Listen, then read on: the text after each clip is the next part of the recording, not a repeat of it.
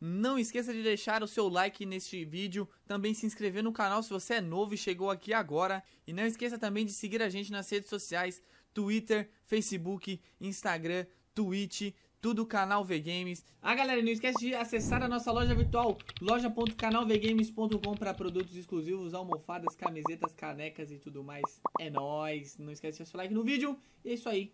Bora pro vídeo. Fala, galera, beleza? Hoje estamos aqui para falar sobre o filme Sobrenatural 4, A Última Chave. E mais uma vez quero agradecer a galera do Kinopex Vale Sul por ter cedido o convite aí. É nóis, obrigado galera do Vale Sul Shopping e do Kinoplex, aí, o melhor cinema aqui da minha região. Bom, galera, então, o que falar desse filme, mano? Ele é um dos filmes que eu estou esperando demais, ansiosamente, esse ano, velho. Eu estava muito, muito... Se eu não me engano, esse filme era pra ter saído ano passado, mano. Se eu não me engano, posso estar falando coisas erradas, mas ele era pra esse filme ter saído ano passado, porém ele foi...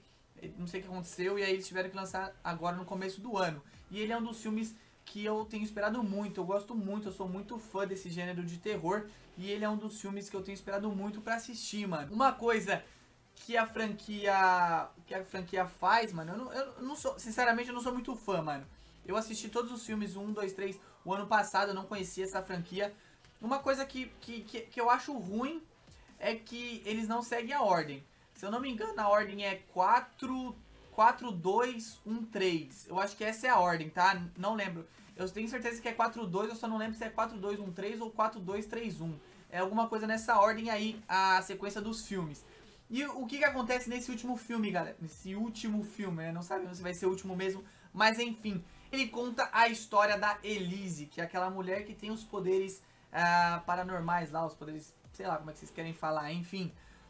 E onde que acontece o problema desse filme é na casa dela, mano, lá no México, onde tudo começou. O que que acontece? No, no, no filme mostra muitos problemas que ela passava na sua infância, mano. Então conta várias histórias da família dela e como ela começou a ganhar esse poder. Conta o que, que o pai dela fazia, conta o que, que a, mãe, a mãe dela que protegia ela, ela também tinha um irmão e tudo mais. Conta, com, começa contando a história em geral. E aí ela tem esses pesadelos, ela tem esse trauma, esse, essa, esse problema que ela enfrentava muito na casa dela. E um cara liga justamente para pedir ajuda e quando o cara fala que é nessa casa, ela já fica totalmente em choque, mano. E aí começa a desenrolar do filme. Passa um pouco tempo, ela fala que vai, e enfim. E aí ela começa a descobrir, ela reencontra o irmão dela, é, conhece outras pessoas e aí começa a desenrolar o filme. E uma coisa que eu percebi também é que muitas coisas do, que apareceram no trailer não contam no filme, mano. Tipo, não é que não contam, eu não sei se eles retiraram do filme ou se eles não colocaram no filme. Muita coisa eu vi que são de outros filmes. Se vocês prestarem atenção e conhecerem os quatro filmes, vocês vão ver que vários, vários monstros que aparecem lá são de outros filmes, do 3, do 2 e do 1 também, que apareceram lá, que eles colocaram pra dar ênfase nesse quesito que eu falei pra vocês do passado dela, do porquê que ela tem medo do passado, mano. E, e, é isso que acontece, mano. Eu vou contar mais ou menos o filme aqui, que é o que? O pai dela é, repreendia muito ela por ter esse poder. O pai dela achava que era uma aberração, entendeu?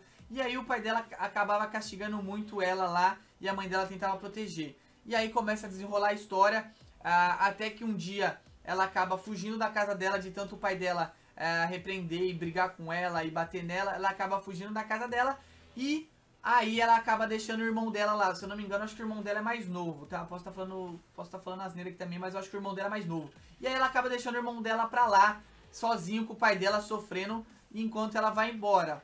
E aí depois, ele, quando, ele, quando, ela, quando ela volta pra, pra cidade, pra essa casa, pra atender o chamado desse cara, ela consegue é, arranjar tudo, ela resolve tudo lá, que supostamente seria o problema, mas daí tem outra coisa mais pra frente, né? Outro problema mais pra frente. Ela acaba encontrando o irmão dela e, e vê que, ela, que o irmão dela teve duas filhas. E uma dessas filhas também tem esse dom e acaba tendo o mesmo problema que ela teve com o pai dela.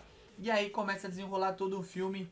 Então são teoricamente dois atos ali, né? Dois, dois chefões, se você for parar pra pensar, principal. Mas é um filme muito bom, aconselho vocês demais a assistir se vocês gostam de, desse gênero de terror, se vocês já assistiram todos os filmes do 1 ao 3, podem assistir o 4 que vocês não vão se arrepender. E é o que eu falei, mano. A única coisa que tá errada é a ordem. É 4, 2, 3, 1 ou 4, 2, 1, 3.